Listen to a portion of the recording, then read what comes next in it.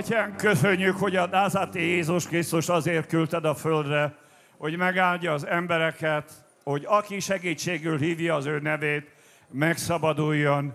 Átkokból, sötétségnek hatalmából, betegségekből, bűnnek az uralmából, mert te engesztelő áldozatot szereztél, véreddel kifizetted az adósságot, és megvásároltál bennünket, hogy ne a bűnnek éljünk, hanem az élő Istennek, aki az ő egyszülött fiát adta oda a világért, hogy aki hisző benne el ne vesszen, hanem örök élete legyen.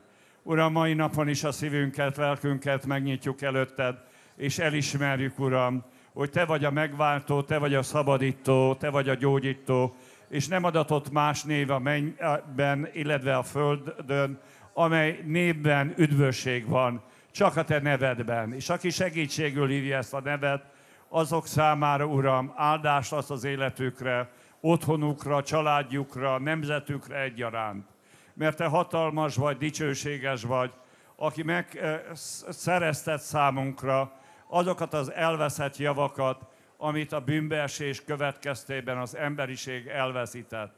Ezért köszönjük neked, Uram, a kegyelemnek a teljességét, köszönjük az igazságot, köszönjük, hogy ezeket elhoztad, és mai napon is rendelkezésükre bocsátod, hogy hit által áldást, kegyelmet tudjunk nyerni tőled. Dicsérünk ezért, áldunk, köszönjük a jelenlétedet, köszönjük Szent Szellem az jelenlétedet, hogy itt vagy, és köszönjük, hogy megvalósítod Istenek az áldásait, kegyelmét az életünkben, újra és újra. És az a kérésem, Uram, hogy azokon a helyeken is gyújtsál fény, világosságot, ahol eddig sötétség volt. Adjál, Uram, kegyelmet az embereknek, hogy ne e, tékozolják el az életüket hiába való dolgokra, és szabadíts meg őket különböző szenvedélyekből, alkoholfüggőségből, kábítószerfüggőségből, szexuális erköstelenséghez, től, és ezekhez hasonló testi dolgokból, hogy ne kárhozzanak el, hanem megtérjenek teljes szívükből, lelkükből te hozzád, és bűnbocsánatot kapjanak a te véred által. Köszönjük neked, Uram, hogy ma is ki van nyújtva a kezed, köszönjük, hogy mai napon is szabadítasz, gyógyítasz, és ezért rád bízzuk, Uram, ezt a gyülekezetet, rád bízok a kegyelmedre minden embert, aki itt van, hogy érintsd meg őket, törzs be a szellemi, lelki, fizikai, anyagi szükségeiket, és dicsőítsd meg a nevedet az életükben, munkájukban, otthonukban, most és mindörökké a mi Urunk Jézus Krisztus nevében. Amen. Tisztelettel köszöntelek benneteket az Úr Jézus nevében és kérlek benneteket, hogy foglaljatok helyet, és a Bibliátokat nyissátok ki az Efézus belelkezét levél hatodik fejezetnél. Elő kell venni az Istennek az erős fegyvereit, és az előző összevetelen is már beszéltem arról, és még szeretnék azt összefoglalni, hogy Isten uh, fia, Názati Jézus Krisztus azért jött a világba, hogy az ördög munkáját lerombolja, és tanította az embereket arra, és minket is tanít a Biblia által, hogy két természetfölti szellemi királyság van a világ mindenségben, az egyik Istennek a királysága, a másik pedig a sátán királysága. És itt vagyunk mi földön emberek, akiket Isten az ő képére és hasonlatosságára teremtett, és felruházott bennünket hatalommal, hogy a földi életben uralkodjunk, és ugye az megváltás eredménye többek között az is, hogy ezt a hatalmat vissza lehet kapni, vissza lehet nyerni a názati Jézus Krisztusban, hogy ebben az életben ne bukott emberként éljünk, ne vesztes emberként éljünk, hanem győzelmet tudjunk aratni a démonok és sátáni erők fölött. Ezért a keresztény életnek természetesen egy nagyon fontos központi része, hogy a názati Jézus Krisztussal közösségben újra és újra kegyelmet tudjunk nyerni, mert a kegyelem az, ami megerősíti mindannyiunknak a belső emberét, és biztosítja Isten kegyelmi ajándéka a belső szellemi emberünknek a növekedését, fejlődését, hogy ne rekedjünk meg a keresztény életben, hanem elérjük az érett férfiúságot, az érettséget, aminek a fő jellemzője, hogy a Krisztusnak az ismeretével be van teljesedve a belső ember. Mert a belső ember az Krisztusnak van elhívva, illetve majd a megfelelő pillanat, időben, Istentől kijelölt időpontban a názati Jézus Krisztus ezeket az embereket, a megszentelt, megdicsőített embereket az atyának átadja, mint ajándékát.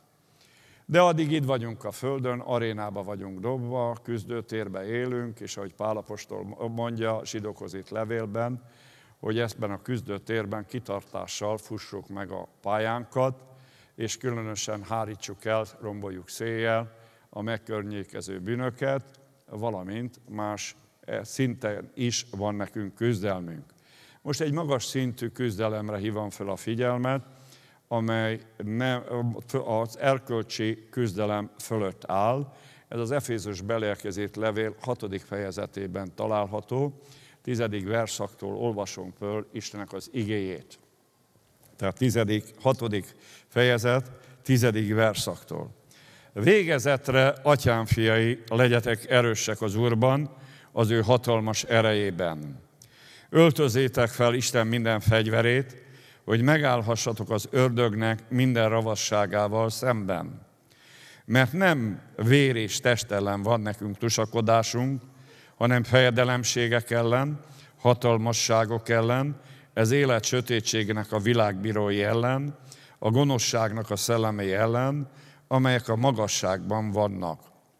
Annak okáért vegyétek föl Istennek minden fegyverét, hogy ellenállhassatok a gonosz napon, és mindeneket elvégezvén megállhassatok, álljatok hát elő, körülövezvén derakatokat, igaz lelkűséggel, felöltözvén az igazságnak a melvasába, felsarúzván lábaitokat a békesség evangéliumának a készségével, mindezekhez fölvevén a hitnek a pajzsát, amelyel ama gonosznak minden tüzes nyilát megoldhatjátok. Az üdvösség sisakját is felvegyétek, a szellem kardját, amely az Istenek a beszéde.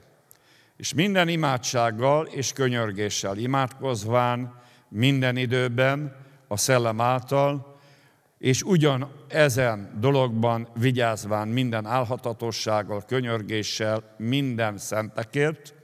Amen.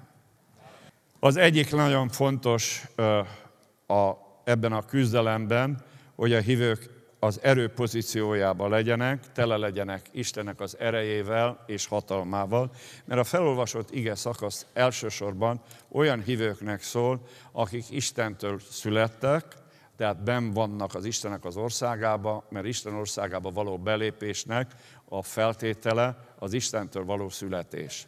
A második nagyon fontos, hogy tele legyenek Isten szellemének az erejével, mert erő nélkül nem lehet természet fölötti szinten előre jutni, mert a természet, ahogy utaltam arra, hogy a názati Jézus Krisztus világossá tette már a földi szolgálata ideje alatt, hogy két láthatatlan természet fölötti világ van, az egyik az Istennek az országa, vagy Istennek az uralma, a másik pedig a sátának a királysága, vagy sátának az uralma. Ez a két királyság küzd egymással, az emberekért, vagy az emberek ellen, azért, hogy a, a, megnyerjék az embereket e, az uralmuk számára.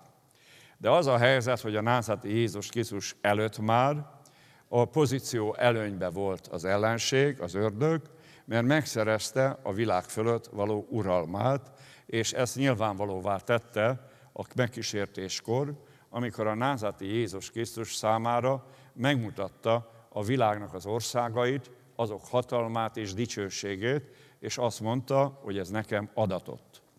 És a názati Jézus Krisztus ezt nem cáfolta, hanem visszautasította ezt a szövetségkötést, és azért, mert őt Isten küldte, Isten fia, és az egész földi életének az alapigazsága, amit betöltött, hogy az atyát szolgálta, és az atyát imádta, és az volt a fő célja, hogy az atyának a atya nevét megdicsőítse és ismerté tegye az emberek számára, hogy az atyának a lényege a szeretet, és ezért jelent meg a názati Jézus Krisztus, hogy ezt közölje.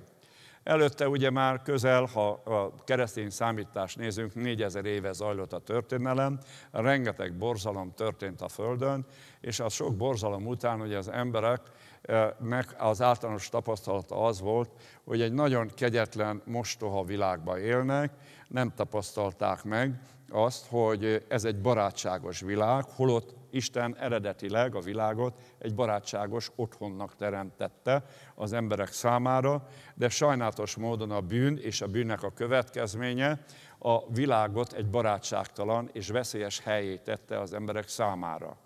Ezért a, látjuk a nemzetek történet, történetéből is, és a tradíciójából is, hogy a Isten szeretetének, meg az emberi szeretetnek, felebaráti szeretetnek nincs tradíciója. Egészen mást olvasunk a történet könyvben, nyekben a nemzeteknek a történetéből, tehát az egyáltalán nem a szeretetnek a története, hanem valami más. De hála Istennek, hogy Isten gondoskodott arról, hogy a világot leuraló sötétség ne rejtse el az Istennek a természetének a lényegét, ezért küldte el a názati Jézus Krisztust, hogy megismertesse az emberiséggel Istennek a természetét.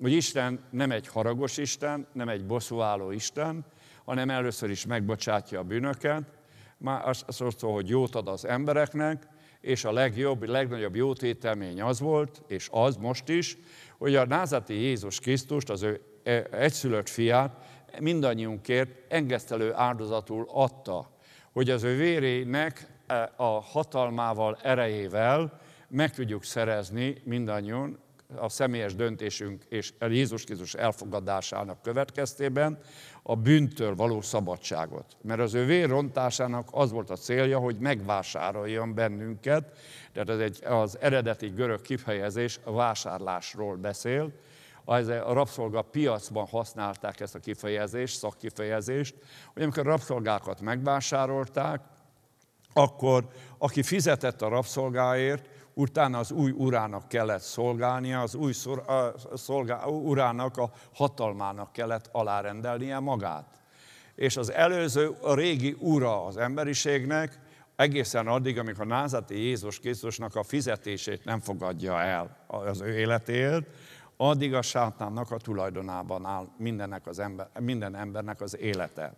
Ezt az emberek sajnálatos módon nem tudják fölismerni, mert pontosan egyik célja az ellenségnek, hogy az értelmét az embernek a szellemvilágra, a láthatatlan világra vakká tegye, és ezért igazából az emberek csak azután tudják fölismerni, hogy milyen szellemi erőknek a befolyása alatt álltak, ha találkoznak Jézus Krisztussal, és különösen találkoznak az Istenek a szellemével, mert az Istenek a szelleme az valójában itt a Földön olyan, mint az Istenek a szeme.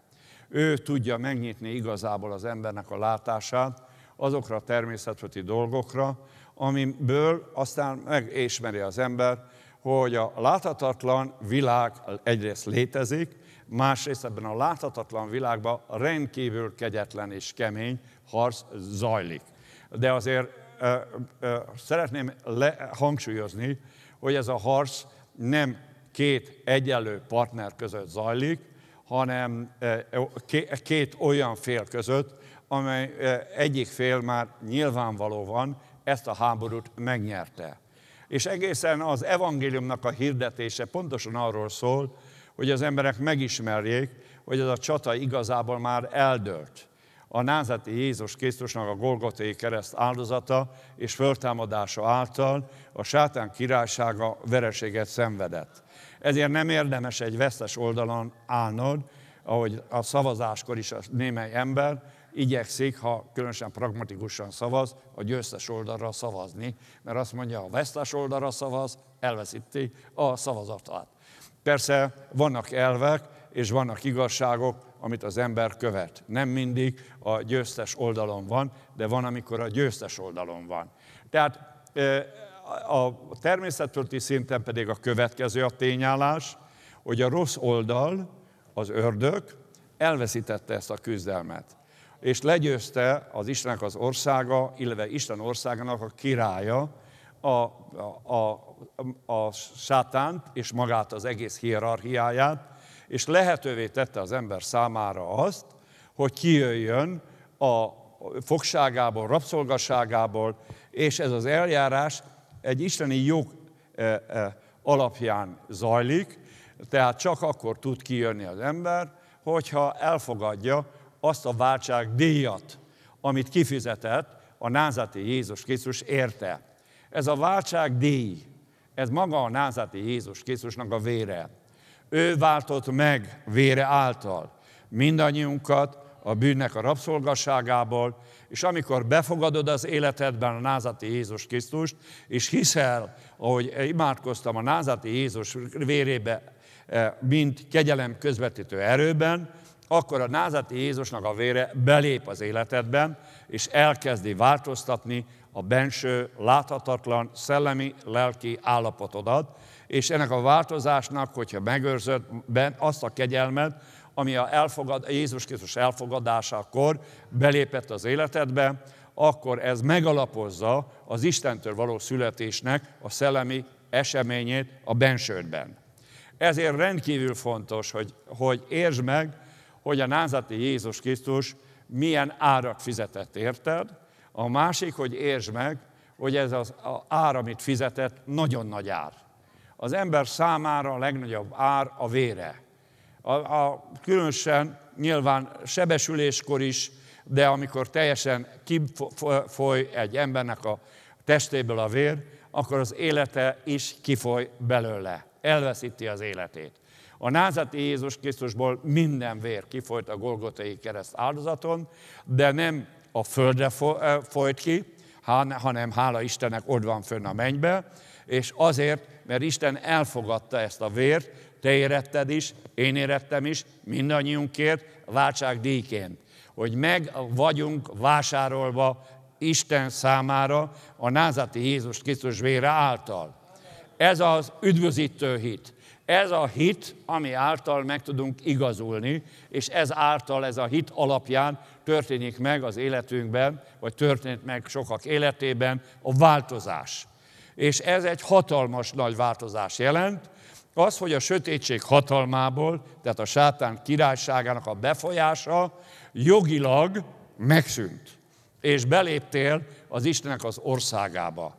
De természetesen az ellenség az nem ravasz, ragaszkodik ahhoz, hogy ahhoz az emberhez, akihez valamikor is köze volt, és hat, ne, nem nyugszik bele, hogy elveszítette az ember fölött a hatalmát, tehát az a hatalmi váltás nem akarja tudomásul venni. Ezért az egyik legfontosabb eszköze, hogy az embereket tudatlanságban tartsa, a názati Jézus Krisztusnak az engesztelő áldozatának a vérének az értéke, ereje, erejével kapcsolatosan. Ezért hangsúlyozom, hogy akár erkölcsi szellemi területen harcolunk az ellenség ellen, vagy a gonosz ellen, akár természetföldi szinten zajlunk, eh, zajlik a csatánk az, a sötétség erői ellen, a legalapvető, a názati Jézus vérében és vérének az igazságával kapcsolatosan a tisztánlátás, hogy ezzel kapcsolatosan a szívünkben fény, világosság, ismeret legyen, mert a názati Jézus vére nélkül ez nem működik. Nem lehet bejutni Istenek a jelenlétébe a megváltásnak a vére által. Ez nyitja meg az emberek előtt az Istennek a királyságát, Istennek a jelenlétét, és egyben e vér alapján omlik össze egy ember élete fölött a sátánnak a hatalma, mert valójában az Istentől való születés a hatalomváltás jelent az, az életünkben.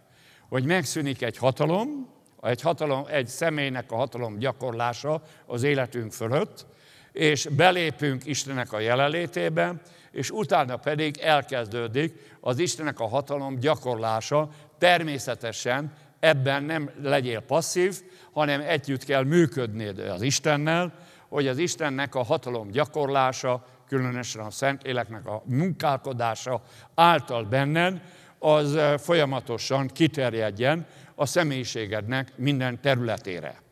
Tehát e, a názati Jézus vére nélkül nem lehet se bűnök ellen harcolni, se démonok ellen harcolni, se itt az a, a Efézus belielkézét levél hatodik fejezetében ennél magasabb szintről beszél Pálapostól, ezért ez elsősorban tapasztalt hívőknek szól az üzenet, de bátorkodok erről beszélni, ilyen közegben is, azért, mert rendkívül nagy küzdelmek zajlanak a láthatatlan világban, és igenis, különösen választáskor a szellemi erők nagyon közel kerülnek a Földhöz, nagyon közel kerülnek az emberekhez, mert óriási változások állhatnak be egy ország szellemi hátterében is a választásnak az eredménye képpen. Ezért nem véletlenül, hogy olyan nagy feszültséget lehet érezni a atmoszférába, meg maga az embereknek a lelkéből, magatartásából is árad ki. Ez azt jelenti, hogy nem csak emberek előtt nyílt a küzdelem, hanem fönt a magasságban, Budapest fölött lévő szellemi térségben is, mert a városok fölött, valamint a országok fölött, sőt régiók fölött, települések fölött, sőt gazdasági vállalkozások fölött, különösen eh, gigavállalkozások, multik fölött óriási nagy szellemi erők vannak, és ezek a szellemi erők eh, eh, biztosítják ezeknek a, a, a, a, a földi intézményeknek a szellemi erejét. Attól függően, hogy milyen a szintű a kapcsolat. Persze ez nagyon változékony, mert újra mondom, hogy ha nincs okult tevékenység, akkor ez a e, kapcsolat akkor is megvan, de nem olyan erőteljes, és nem, e, nem blokkolja úgy az Istennek a munkáját, az Istennek az igényének a hirdetését, mint azokon a helyeken, ahol okult tevékenységgel is, közvetlenül is erősítik az emberek a kapcsolatukat olyan szellemi lényekkel, amelyek Isten országával szemben állnak, és harcolnak Isten országa ellen. Tehát ezért egy-két dolgot még szeretnék megemlíteni neked, illetve megismételni, amit a, a, a Máté Evangélium 12 fejezetében felolvastam, most nem olvasom fel újra, csak szeretném ismételni, mert ez egy alapigazság, ahhoz, hogy megértsed azt, hogy milyen szellemi konfliktusok zajlanak, és a keresztényeknek ebben a szellemi konfliktusban mi a feladatuk, mi a teendőjük. Ugye a, biztos vagyok benne, hogy sokan nem voltatok katonák, én voltam katona. A kiképzésnél ugye azért akkor is, ha nincs háború, a mindig, mindenféleképpen feltételeznek egy ellenséget, és az ellenségről is tanítanak, mert ha nincs ellenség, akkor egyáltalán nincs értelme, hogy legyenek harcosok. Az ellen, harcosoknak az a célja, hogy az, az ellenséget távol tartsák, elrettentsék, hogy ne tudjon kárt okozni ö, nekik. És természetesen ebből fakadóan ö, nem csak azt ismertetik meg a katonával, hogy milyen fegyvereket kell használni az ellenség ellen, hanem azt is megismertetik, hogy mi az ellenségnek a kondíciója, milyen arzenállal rendelkezik, hogy lehet felvenni az ellenség ellen a küzdelmet, mi az ellenségnek a szándéka, célja. Ugye hat gyakorlatokon ezt szimulálják, ezt gyakorolták, és mindig volt egy virtuális ellenség, nyilván most nem fogom megmondani, hogy konkrét népeket mondtak akkor, hogy kikkel harcolunk. Persze mosolyogtunk rajta, mert ugye nem volt éles háború, de hát ez a helyzet, hogy a, hála Istennek, hogy a béke az éljen. De az a helyzet, hogy a szellemvilágban nem éljen, mert szokták mondani, az ördög nem alszik. Nem ám, hanem kőkeményen harcol folyamatosan, Először azért, hogy megakadályozza az, hogy megismerd a názati Jézus Krisztusnak pontosan azt a jótételményét, amit az előző percekben elmondtam, hogy milyen nagy árat fizetett érted azért, hogy ki tudjál jönni a rossz rabszolgaságából, és be tudjál lépni Istenbe. Tehát az első az, hogy megakadályozon tégedet, hogy újjászületett keresztény legyél. Ha pedig ezt nem tudta megakadályozni, akkor mindent megmozgat azért, hogy egy sikertelen, rossz, megbízhatatlan keresztényé váljál, akibe semmit nem lehet megbízni, hogy egy szatyrot nem lehet rábízni, mert tudni, hogy azt is elveszíted, stb. stb.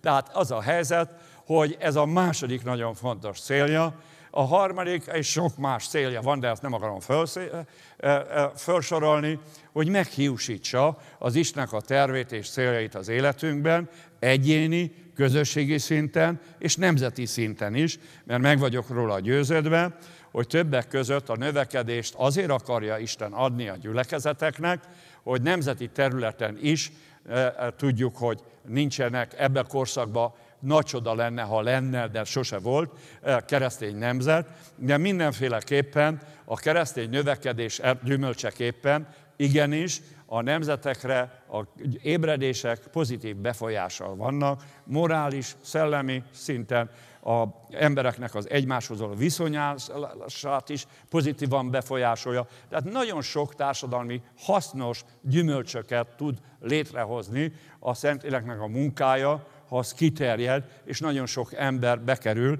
Istennek a kegyelmének az uralma alá.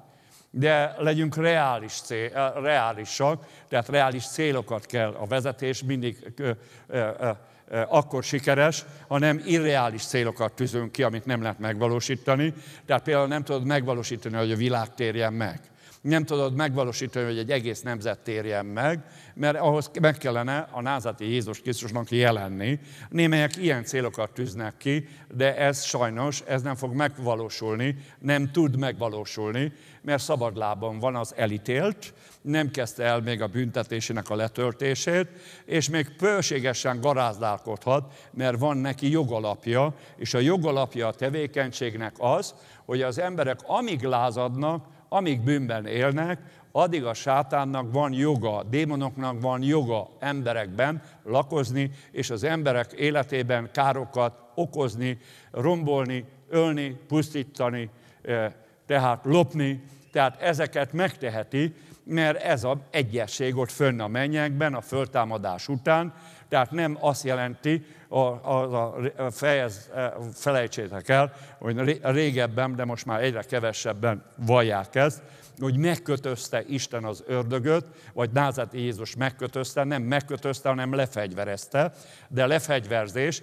a Názati Jézus Krisztussal kapcsolatos igaz, tehát a Názati Jézus Krisztusnak a győzelme igaz. Ez a győzelme csak a Názati Jézus Krisztusban tudjuk megkapni, de ez a világ ezt a győzelmet nem kapta meg, és éppen emiatt, mivel a világ olyan állapotban van, amely még a megváltatlanságát ö, ö, igazolja, bizonyítja, minden nap kegyetlenségeket lehet hallani, rossz híreket hallani, és ezért ugye sokan azt kérdezik ilyenkor, hogy akkor mi van? A názati Jézus Krisztusról azt mondod, hogy megváltotta a világot, és ez a világban meg tele van gonoszsággal, kegyetlenséggel, hazugsággal, stb. Hát ez milyen megváltás?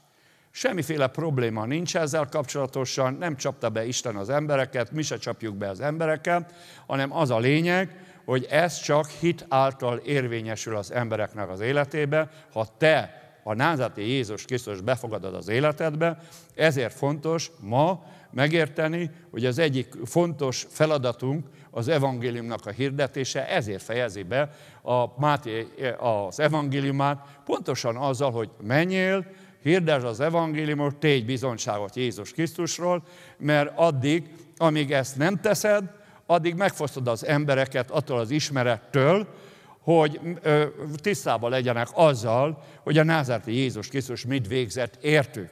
És ha te ezt megismerted, akkor van egy kötelezettséged az emberek társait felé, rokkonait felé, szeretteit felé, hogy ezt az igazságot oszd meg velük, mert ahogy tégedet az Isten megváltott, vagy ahogy bejött az életedben a kegyelem azáltal, hogy elfogadtad az evangéliumot, ugyanezt az áldást meg fogja adni Isten a szeretteit számára, de nyilvánvalóan nekik is szükségük van, mint ahogy te tetted, hogy megnyissák a szívüket, befogadják Jézust megváltójuknak és szabadítójuknak. Tehát ez egy alaptevékenység, de ezeket a nagyon fontos szellemi eseményeket. A, a, a sátán királysága, ahol tudja, ezt akadályozza, sőt, ahol elindul a Szentléleknek a munkája, ott koncentrálja gyakran a legnagyobb ellenállást, hogy megakadályozza, megállítsa, vagy botrányba taszítsa Istennek a munkáját, mert hát tudjátok nagyon jól, a legnagyobb kiábrándulás vagy apátiát az egyház történelmi is azt látjuk, amikor egy ígéretes, munkája Istennek meghiúsul a részvevőknek a gyarlósága, a bűnei miatt, felelőtlensége miatt. Ez az, ami demoralizálja gyakran az ébredéseket, és ez nagyon sok embert elriaszt attól, hogy az Istennek a, a, a munkájához közelítsen, és sajnálatos módon a közel 2000 éves egyház történelem nem szűkölködik ilyen botrányokból, és ezt meg kell érteni a mi generációnknak, hogy ne a régi visszaéléseket, botrányokat gyarapítsuk, hanem próbáljunk úgy járni az Úrban, és az Úr ezt meg fogja áldani, hogy ne dehezítsük meg az embereket az Istenhez vezető útjukban, hanem megkönnyítsük azokat. Sőt, az egyik megkönnyítése az, hogy nem csak prédikálunk az Isten igéjéről, hanem küzdünk, harcolunk is értük Istennek az erős fegyvereivel, hogy azok a morális és azok a szellemi akadályok, amik őket távol tartják Istennek a megismerésétől, azok az életükben megszűnjön, és ki tudjanak jönni Istennek a világosságára.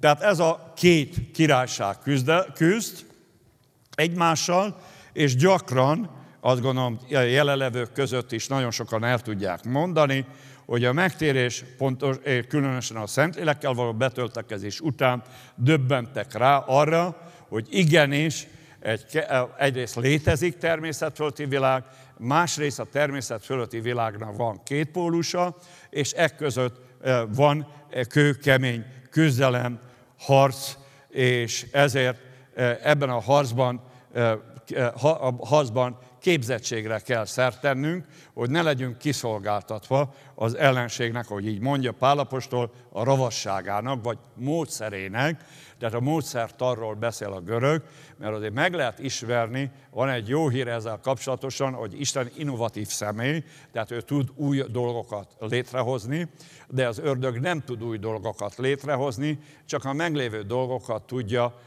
tudja utánozni olyanok, mint a némely eh, amatőr politikusok, hogy nem tudnak új dolgot mondani, hanem koncepciózus politikusoknak a beszédét tükrözik vissza. Tehát, hogy azt cáfolják. De ha nem lennének tehetséges politikusok, akkor nem lennének ezek a dilettánsok sem, akik tulajdonképpen a beszédük nem áll másból, mint ekézik azokat a politikusokat, akiknek van koncepciójuk, látásuk a vezetésről, akinek van füle hallja, hogy miről van szó, tehát sajnos ez a, ezt tükörbeszédnek mondják, de így van ez a keresztényeknél is. Most különösen ugye, hogy a közösségi médiaban nagy robbanás történt, és tele van a média prédikátorokkal, és némely prédikál ahelyett, hogy Isten ígért prédikálni, tükörbeszédet tart, ekézi azokat a, a személyeket, akikre rá, mert ugye hát könnyű mondani, hogy én mondom azt, hogy a, a, az ég kék, és akkor azonnal tudsz mondani arra, mert hogy akkor, hát a kék az nem kék, hanem ilyen, olyan, stb. Ilyen rossz a szemed, és így tovább, nem jól látod. Tehát egy, egy állítás könnyebb haz, hazugsággal száfolni, mint kimondani egy olyan dolgot, persze nem a, a, a, a, a, a ékkék, ezt könnyen ki tudjuk mondani. De különböző ki, olyan rejtett igazságokat nem könnyű kimondani, amit csak a Szentléleknek a kijelentése által tudsz megismerni a Bibliából. De amikor ilyen emberek vannak, akkor mindig jönnek ezek a parazita rétek, akik az, a kontrázzák, hogy ez nem így van. Ez így van a természetes életnek minden szintje. A tudományos életben így van, ez így van a szellemi életben, így van, a politikai életben így van. Tehát nincs olyan például tudományos elmélet, aminek ne lennének ellenfelei és cáfolói. Mert ebből is meg lehet ma élni. Ugyanúgy, ugyanúgy minden szinten meg lehet élni. De én arra bátorítalak benneteket, hogy ne ilyen kontrázó emberek legyetek, hanem próbáljatok új szellem újságába járni, ugye a szellemnek a kijelentését egyrészt befogadni, ami tényleg ki, Szentléleknek a kijelentéséből van, és szelleméhez szellemét szabjatok az életetekben is, és ebben adjatok támogatás, segítséget a testvéreitek számára, és ne az állana, hogy blokkoljátok, blokkoljátok, mert értsd meg, ez nem más, mint maga az ördögnek a munkája. Ő így tevékenységig, tevékenykedik. Az ő tevékenységének ez az alapfilozófiája. Ha Isten nem cselekedne jót, nagyon bajba lenne az ördög. Nem lehetne mit tagadni, mit, mit száfolni. Ha nem teremtette volna a világot, nem, tudta, nem tudná rombolni a világot. Ha nem teremtette volna az embert a saját képére és hasonlatosságára, akkor nem érezne ilyen nagy szenvedélyt, hogy állandóan ezt a képet megtapossa, tönkretegye, csúfolja, és bemutassa Istennek, hogy lám-lám, az általa teremtett eh, ember micsoda gyarló, micsoda gonosz. Hát csak gondolja a jobb könyvére. Vagy ha nem ismered a jobb könyvét, olvasd el figyelmesen, hogy az egész konfliktus vagy megpróbáltatás hogyan kezdődött a jobb életében. Egy szellemi küzdelemmel kezdődött, nagyon ideges volt az ördög, hogy van egy istenfélő család ott közel-keleten, és aki eh, olyan apa, igazi atya, aki az egész családját Isten félelemben tartja, a gyerekeit, feleségét, stb. Minden nagyszerű, jót tett biztos sok emberrel az életébe, és Isten is jót tett vele, meggazdagodott, áldott, áldott ember volt, stb. Ezt látjuk, a jobb könyve erről árulkodik, hogy ezt Isten e, e, e, ennek örül, hogy ilyen családok, otthonok vannak, de viszont az ördög ezt ferde szemmel nézi. És állandóan azon spekulál, hogy hogyan tudna éket verni az Isten és ilyen családok, ilyen apák között, és hogy tudná ezt az egészet fejetetejére állítani. Ezért, amikor van a mennybe a fogadás, mert van Istennél parlament, vannak olyanok, amikor csak jó angyalok vesznek részt, de van, Isten nagyvonalú megengedi, hogy az ellenzék is felvonuljon. Tehát a, a, a, a, és mondja a jobb könyv, hogy fogadás volt az Isten fiai számára, és az ő nagysága, sátán is megjelent, és hát azt gondolom, hogy a világ mindenség nagyon gazdag. Egy kis részt ismerünk belőle. E, e, és látjátok, hogy milyen nagy erőfeszítéseket tesznek a, a fejlett országok, ilyen szomszédos bolygókra följussanak, megismerjék, és holott ez az egész, amit kutatnak, nem becsülöm le, mert nagy dolog, ami, ami ilyen eredményeket elértek. Ez igazából az első éghez tartozik, tehát a, a, a földhöz közeli hát nem atmoszféra, hanem inkább éter vagy űrnek is mondjuk, tehát, de mindenféleképpen az első éghez tartozik. Akkor ezzel fölött, mivel hogy van három ég, akkor ha van egy ég, meg harmadik ég, akkor biztos, hogy van második ég is. Tehát ezért ebből azt lehet következtetni, hogy azért nagyon sok része van, világa van a mindenségnek, mert a mindenség tartalmazza a világokat. És nagyon sok világokról fogalmunk nincsen, hogy hogy néz ki, mi van, és ezért fel kell készülni arra, hogy sok ismeret előtt állunk még, mert a mennyből egészen biztos, hogy jobban át lehet látni, a mindenséget, mind a, föld, a földről, mint ahogy látod a tájat is. Ha ben vagy a völgybe, nem, nem látod a panorámát. Fölmégy egy hegycsúcsra, akkor sokkal nagyobb a látószöget. Tehát ez így van, a mennyből nagyon nagyot fogunk látni. Na a lényeg az, hogy a világot tehát így mi nem tudjuk átlátni, de Isten át tudja látni. De érdekes, ugye, meg nyilvánvalóan az angyalok is sokkal többet tudnak a világ mindenségről, mint az emberek, de az mindig megdöbbentett engemen, hogy amikor a világ mindenségben, eh, vagy illetve mennyekbe összegyűlt a, a, a, a a teljes eh, taná, eh, Isten fiainak a, a tanácsa, ugye Zsoltárokban is van erről szó, az Isteneknek a tanácsáról, akkor nem ezekről a titokzatos dolgokról beszélnek, hanem a földön egy családról, egy kis, e, e, kis porból készült, teremtett emberről, jobbról beszélnek a földön. Hát ezen is elgondolkodhatsz, hogy az ember kicsoda, ahogy a Zsoltáros mondja, hogy kisebbé tetted Istennél, hogy alig tetted kisebb Isten, hogy dicsőséggel és tisztességgel koronáztad meg őt, annak ellenére, hogy ilyen porszemeg vagyunk, már a mindenségből nézve, és mégis, amikor összegyűlnek az emberekkel, ilyen komoly szinten foglalkoznak, hogy mit tegyenek. És jobb kapcsolatosan a sátán elkezdett beszélgetni Istennel, de hát nem akarok ezzel részletesen bemenni, de ebben egy szellemi harcnak egy nagyon fontos titka, és elkezdte mószerolni Jobbot, hogy azért nem biztos, hogy tiszta motivumból szeret tégedet, hanem azért szeret tégedet, mert megáldottad. Gyerekekkel, családdal, vagyonnal, jó hírnévvel, stb. Hát ugye ebből következett, ki olyan ostoba, hogy a saját érdekei ellen cselekedjen. Ha Isten ilyen jó az emberhez, persze, hogy ragaszkodik.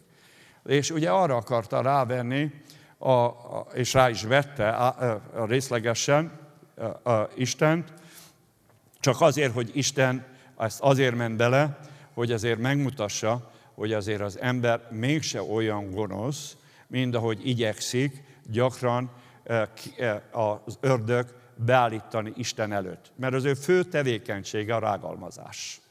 Éjjel-nappal, ahogy a jelenések 12. fejezetben olvassuk, éjjel-nappal a legmagasabb szinten eh, rágalmazza azokat az embereket, akik Istennel kapcsolatba állnak. És nagyon sokszor az hívők ezt nem veszik figyelembe.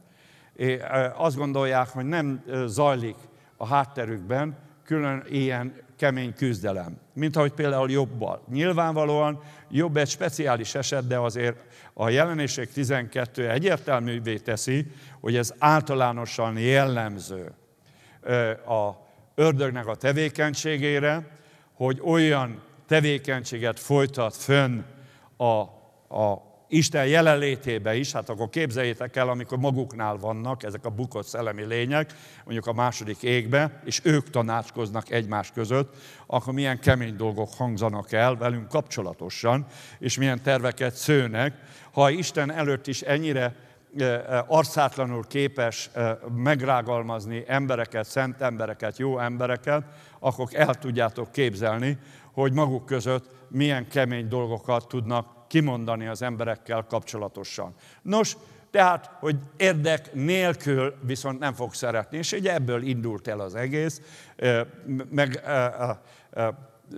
próbáltatása jobbnak, hogy megpróbáltassa, hogy most őszinte szívből szereti Isten, vagy pedig érdekből. Ugye ezért engedte meg Isten, hogy az ördög csapásokat mérjen, és ezek a csapásokból viszont nagyon fontos dolgokat értünk meg, hogy, milyen, hogy van hatalma az emberi élet test fölött, abban az esetben, ha az ember nem áll Isten természeti védelme alatt.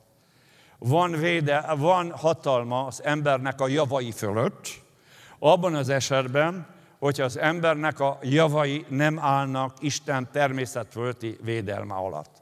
Tehát van hatalma, akkor így mondom, az autót fölött az ördögnek, van hatalma a házat fölött, van hatalma a munkáját fölött, abban az esetben, hogyha nem helyezed azt is az Isten természet fölötti védelme alá, hitáltal.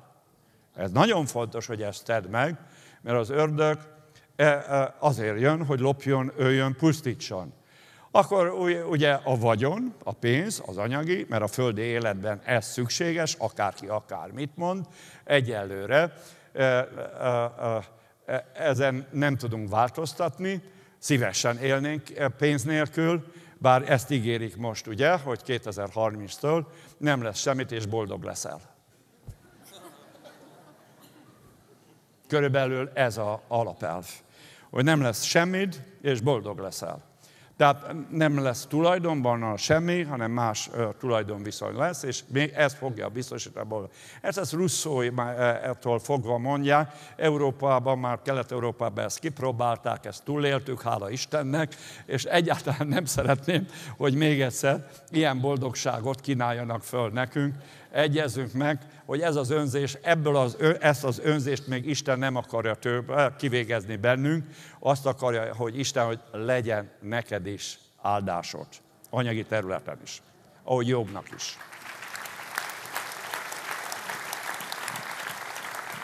Következő pedig a ugye családtagok. A gyermekeitet is elveszítette.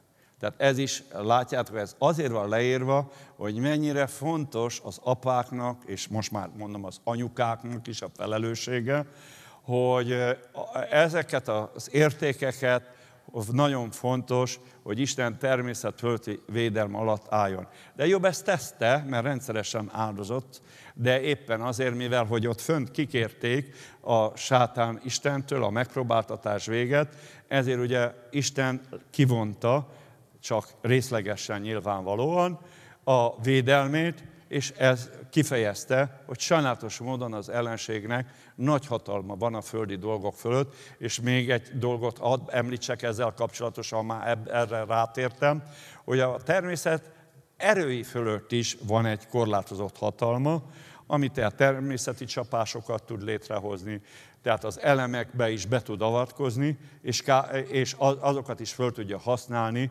az emberi életnek a rombolására és pusztítására.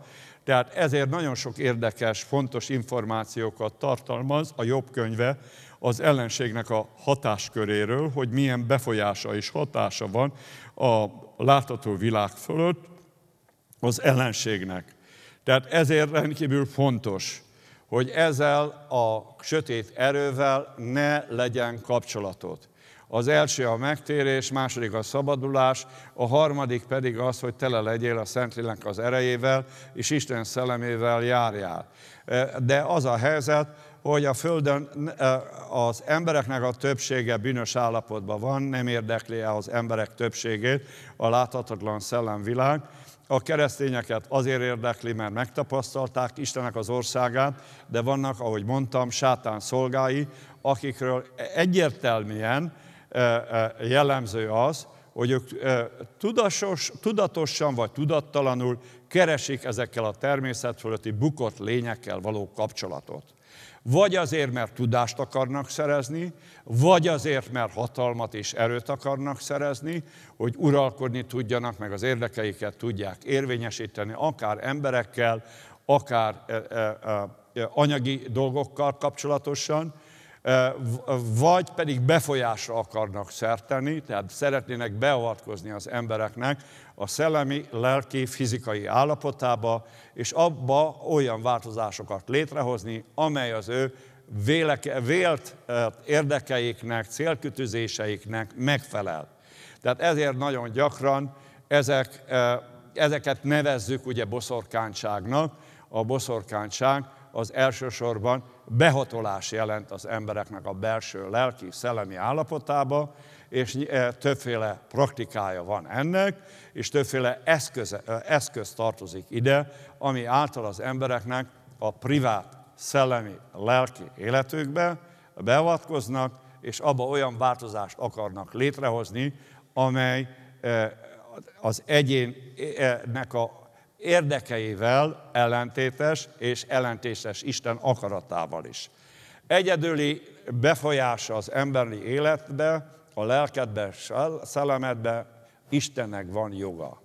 Ezért alapvető, és ezt sajnos Magyarországon azt látom, még keresztény szülők is elfelejtik, hogy a gyerek, ha kis csecsemő megszületik, azért például Izraelben az elsőszülöttet, de a többi gyerekeket is azért vitték az Úr jelenlétébe, de az elsőszülötteket ugye meg, egyértelműen meg kellett mutatni. Mi volt ennek a célja?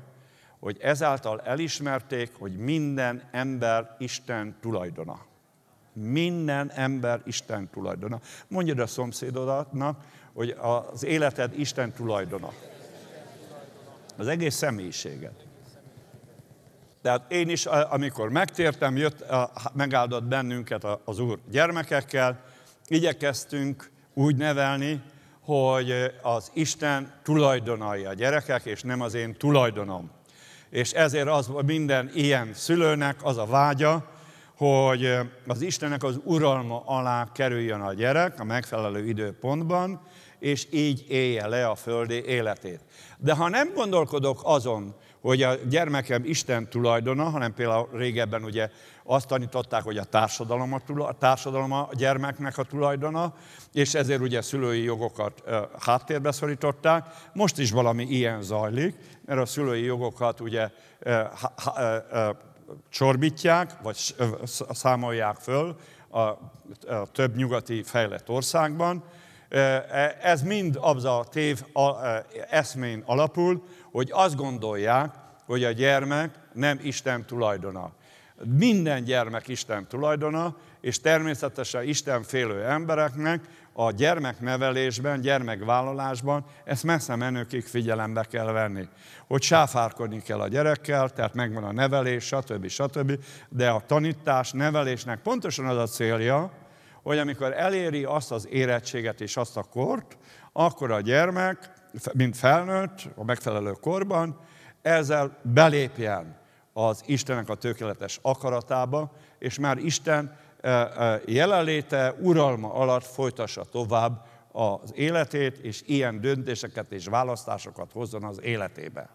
Én azt gondolom, hogy ezen a területen szükséges, hogy nagyon sokan fiatal házasok végig gondolják újra, hogy ez hogy van, mert úgy látom, régebben nagyon lazább volt a szülők és a gyerekek kapcsolata, most pedig inkább azt látom, hogy az ellentéte, ez rendben is van, hogy féltjük a gyerekeket, ok, bőségesen van ok, de ez nagyon fontos, hogy ne legyen elzárva az Istennek a kegyelmétől, Istennek az áldásától, mert ő tudja biztosítani, amikor már a szülők nem léteznek, vagy a szülőknek nincs hatalmuk és befolyásuk a gyermekeikre, akkor csak az Isten tudja biztosítani a felnőtt gyermekeit számára, hogy azon az úton járjanak, ami, amelynek a gyümölcse, hogy üdvösséget fognak nyerni. És ennek a vetése akkor kezdődik el, amikor a gyermek megszületik. Tehát akkor már ennek a vetését el kell kezdeni. De ez egy ma nagyon nehéz munka, ezt elismerem, de hát azért ezt a nem ismeretlen számunkra, nem úgy beszélek róla, mintha nem gyakoroltam volna, tehát, mert vannak, akik beszélnek róla, látom, szakemberek, és hát némelyik még meg se házasodott, vagy megházasodott, elvált, stb. Hát úgy van ez a szellemi életben is, a keresztény életben is, hogy ez messze menőkig figyelembe kell venni. Ne hamarkodd el, hogy ki hová fordulsz tanácsért, hanem nézd meg, ugyan a területen, azaz ahová mész tanácsért, az a területen milyen referenciái vannak annak az illetőnek, mert a vak vezet világtalant, mi az eredménye? Mind a ketten gödörbe esnek. Tehát ezért az, az ember szeret sikeres emberektől tanácsokat kérni, akik azon a területen jól csinálták a dolgokat, ez a normális. Nos, tehát vannak emberek, ahogy mondtam, hogy közvetlenül okult tevékenységet folytatnak, és okult szellemi erőkkel állnak kapcsolatban, vagy sátáni erőkkel állnak kapcsolatban, vagy démonokkal, vagy e fölött lévő szellemi lényekkel, és ezek egy városnak, vagy egy országnak a szellemi térképét, szellemi atmoszféráját igenis be tudják folyásolni. Erre utaltam, hogy az Abcselben több ilyen esemény, történetet olvasunk, hogy egyetlen egy ember, mint Szamariában Simon Mágus, vagy Cipruson Barézus, vagy Filippében a jövendőmondó lány, meg tudta határozni a, a, a városnak a szellemi erejét, Azért, mert ezek az emberek szellemi emberek voltak, nem Isten szellemével álltak kapcsolatba, hanem olyan gonosz szellemi lényekkel, amelyek, e, e, amelyekkel a kapcsolatukat folyamatosan megfelelő okult, ahogy mondjuk, okult tevékenységgel folyamatosan erősítették. Ezeket nevezi Jézus Krisztus a, a Máté 12-ben erősségnek, hatalmasságoknak, aminek a megkötözése nélkül nem tudsz bemenni a palotájába, és nem tudod elvenni a kincseit. Szellemi értelemben kell a názati Jézus Krisztusnak a példáját venni, hogy mindaddig, amíg egy városban vagy egy országban olyan embereknek a szellemi befolyását érintetlenül hagyjátok, amely igézet alatt tartja az embereknek a jelentős részét, addig nincs ébredés. Ez nem én mondtam, hanem a názáti Jézus Krisztus. Ezért imádkozni kell gyakran, meg kell kérdezni az Istentől, hogy mik azok az erők, amely egy városban, egy országban az embereknek az Istenhez való viszonyát negatívan befolyásolják. Sokféle lehet. Hát ma már ugye eszmék, ideológiák, a kultúrában, minden szférában megvannak azok az emberek, tehát ez egy bonyolult dolog ma már, de azért alapvetően a Szentlélek kijelenti ezeket. A szellemi harc, tehát amiről Pálapostól beszél, a Efézus belélkezét levél 6. fejezetébe erre utal. Efézusban például ki volt a legerősebb szellemi lény, amely a várost igézet alatt tartotta, az efézusi Diana, tehát egy Isten nőnek az imádása.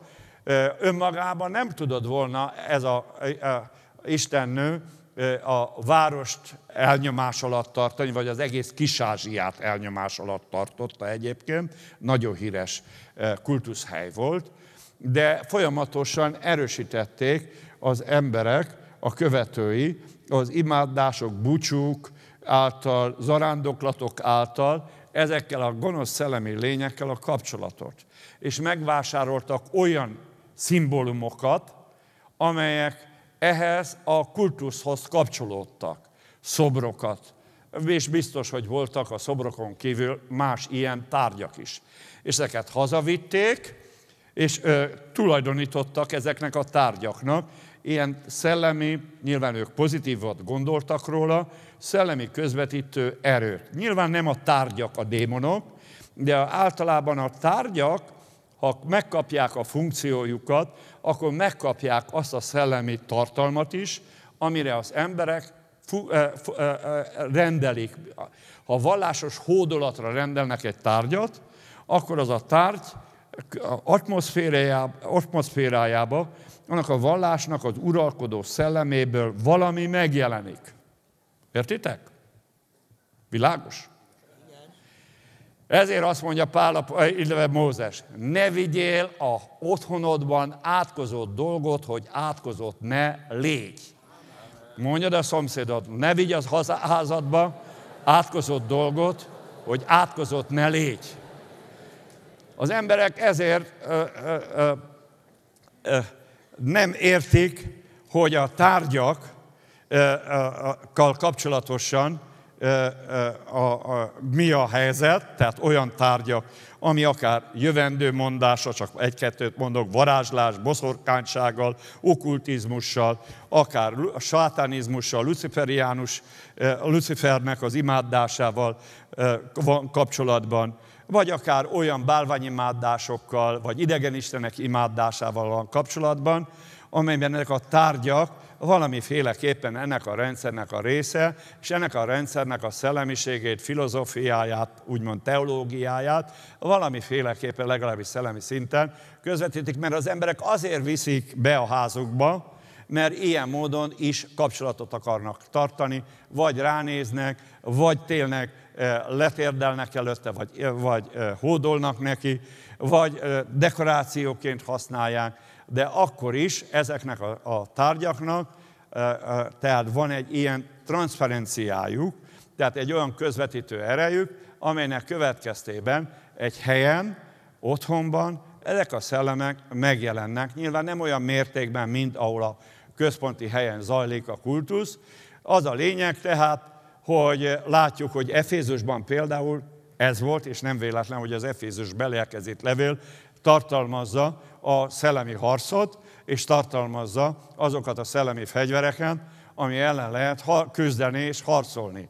Tehát az Efézus Diana az egy nagy területi, mondanám, egy, egy, ennél sokkal nagyobb, szellemi erősség volt, és kiderül, hogy amikor egy ilyen kultuszról van szó, akkor a fönn a levegő égben, vagy a második égben ennek megvan a megfelelő angyala.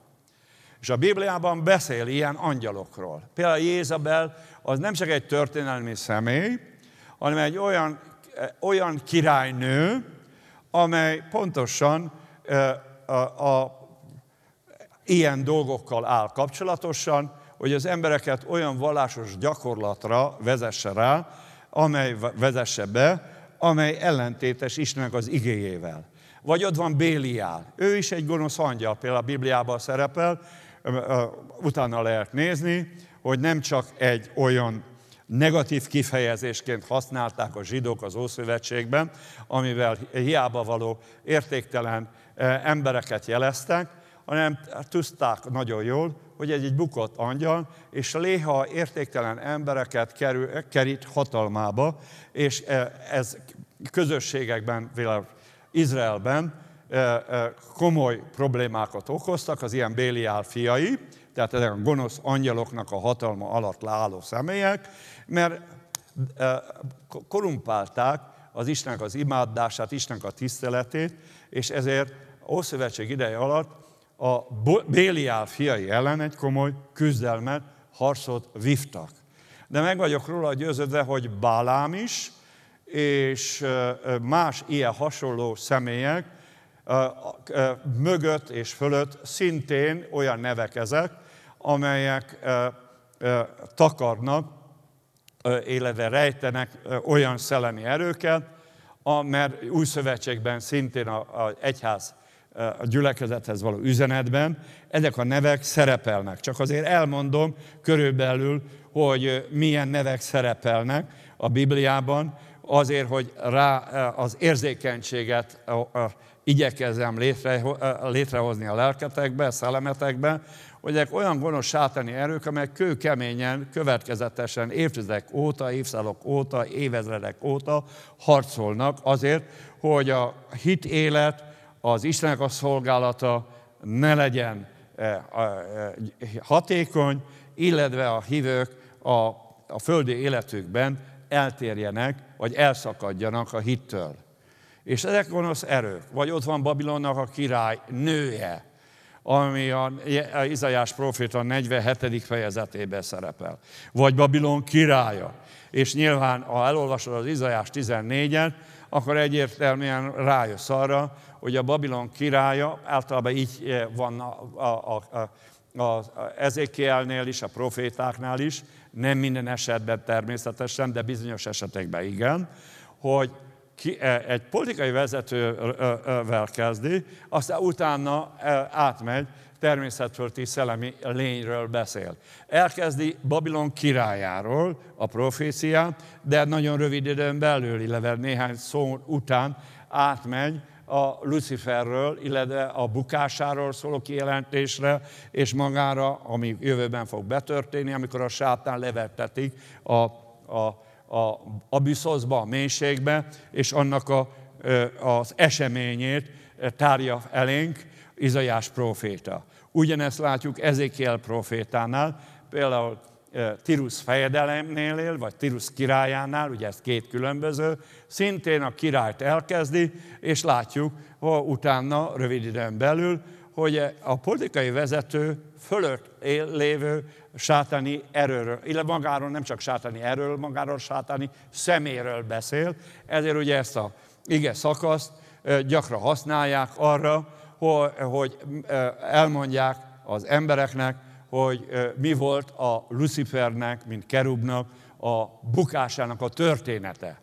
Tehát ez is az bizonyítja, hogy vannak olyan történelmi személyek, vagy vannak olyan, mondjuk ki, politikai vezetők, akik mögött nem csak természetes erők, vagy egy általános dolgok állnak, hanem rendkívüli erők állnak. Ezért utaltam többször, és hangsúlyozni szeretném, mert a keresztények gyakran úgy gondolkodnak, és különösen, hogy a történelmietlenül gondol, történelmietlen gyülekezetekben járnak, hogy majd kezdődik a hét év, és utána, amíg nem kezdődik a hét év, addig helye húja van. Hát ez nagy tévedés, kedves testvéreim.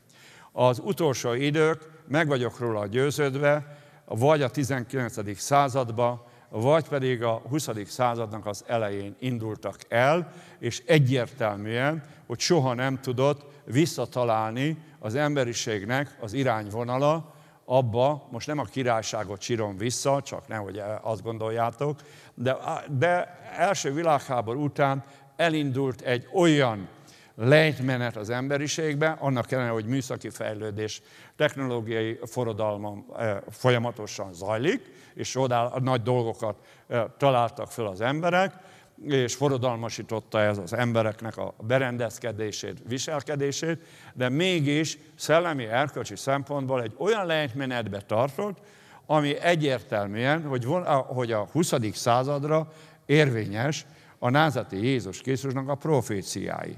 A háborúkra vonatkozik, tehát ne csak arra gondolt, hogy a jövőben lesz háború, volt az, borzalmas háborúk voltak a 20. században. Borzalmas dolog volt a holokauszt.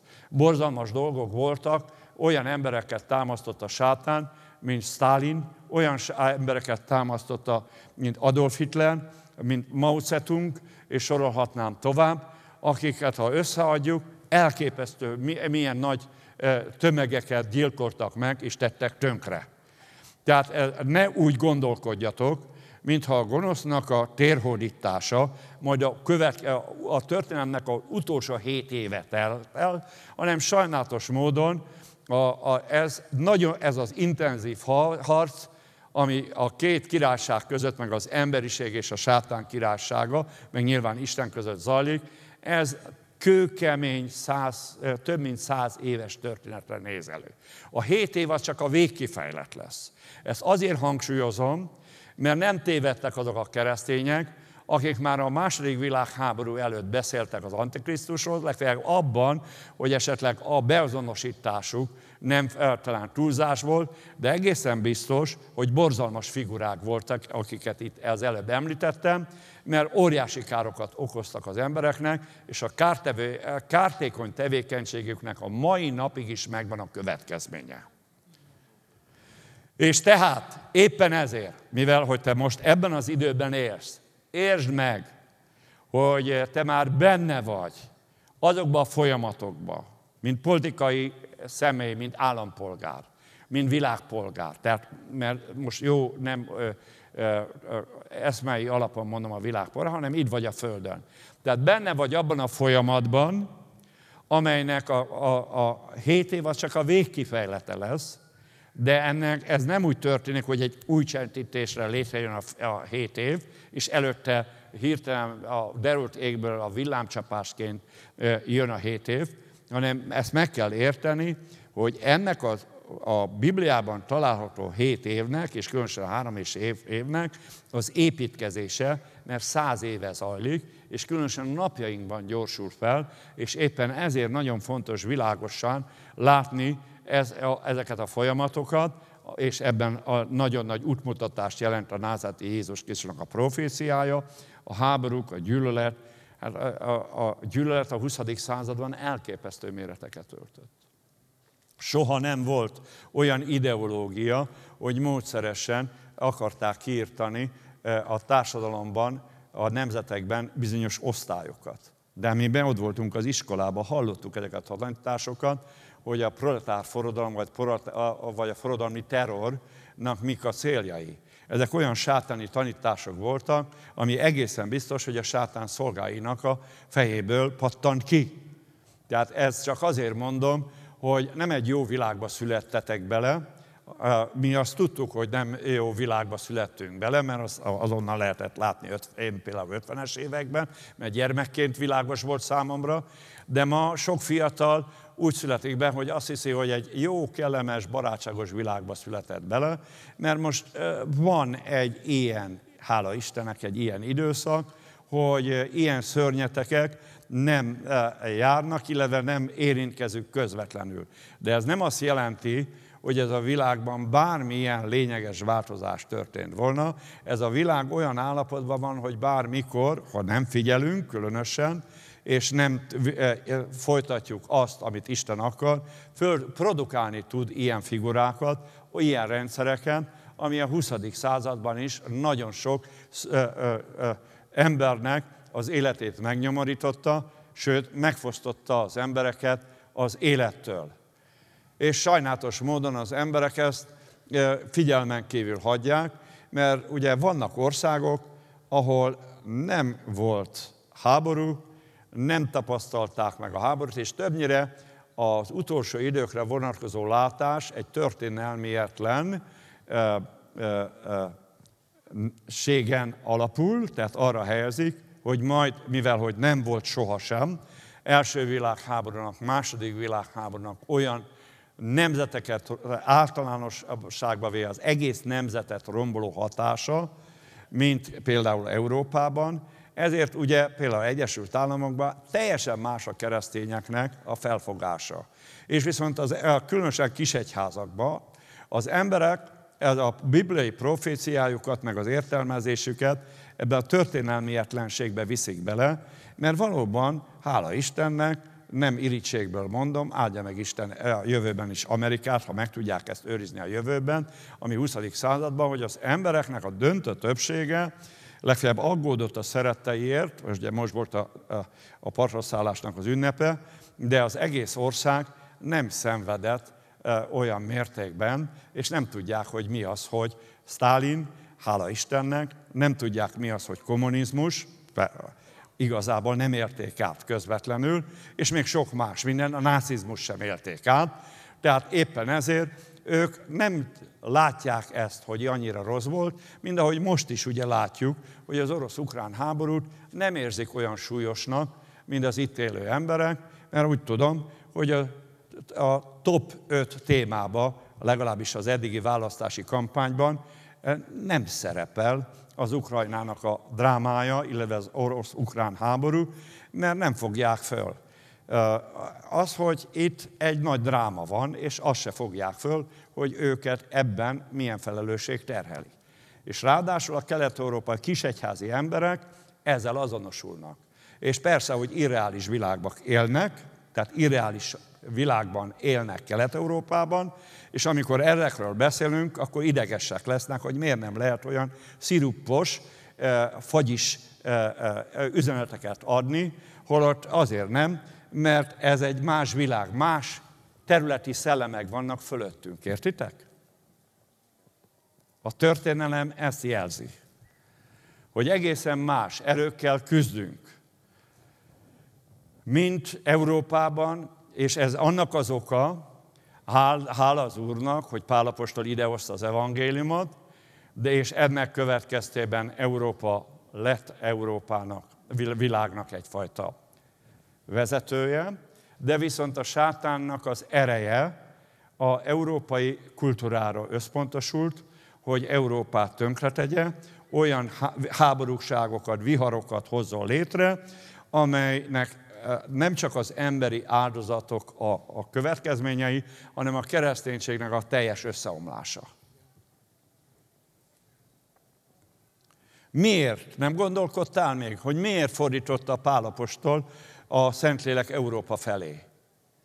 Én nem vagyok európai felsőbbrendű, csak azért hangsúlyozom ezt, hogy a Pálapostolnak a küldetése, az determinálta Európát, mert a sátánnak a, a, a célpontja előtte Izrael volt, Judea volt, de 70-ben ugye elérte a célját, de utána ki lett? Európa.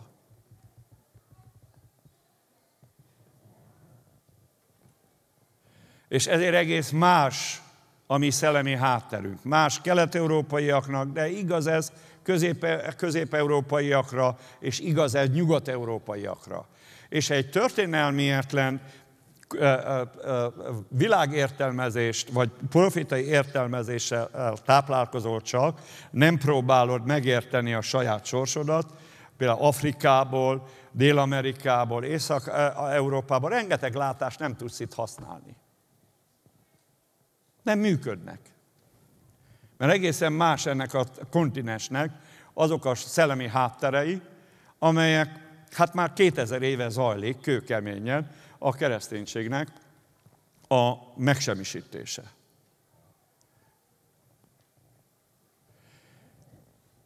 Európa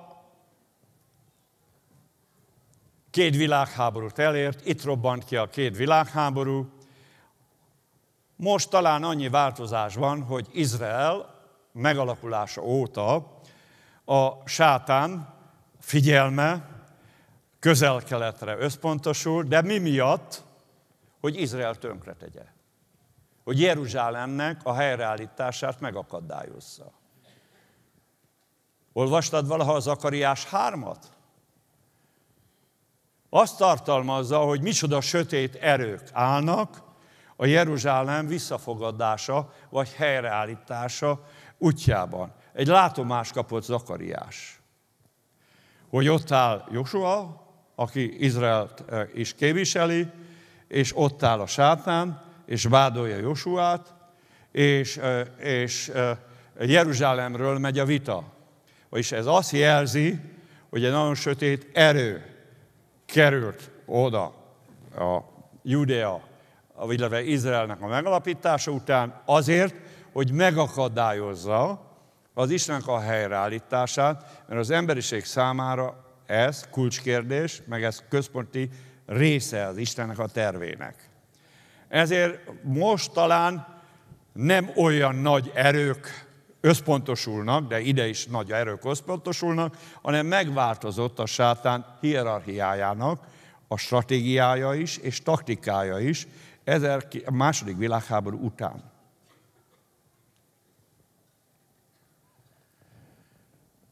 És ezért láttátok, micsoda kemény küzdelem zajlik Izraelben, milyen kemény küzdelem van közel-keleten, hosszú évtizedeken keresztül, jó elnyomás alatt, meg nyomorúságban voltak, de hát nem volt ekkora feszültség közel-keleten, és nem volt a közel-keleten olyan válság, amely úgymond világháborúnak a kitörésével fenyegette, fenyegette volna az egész világot.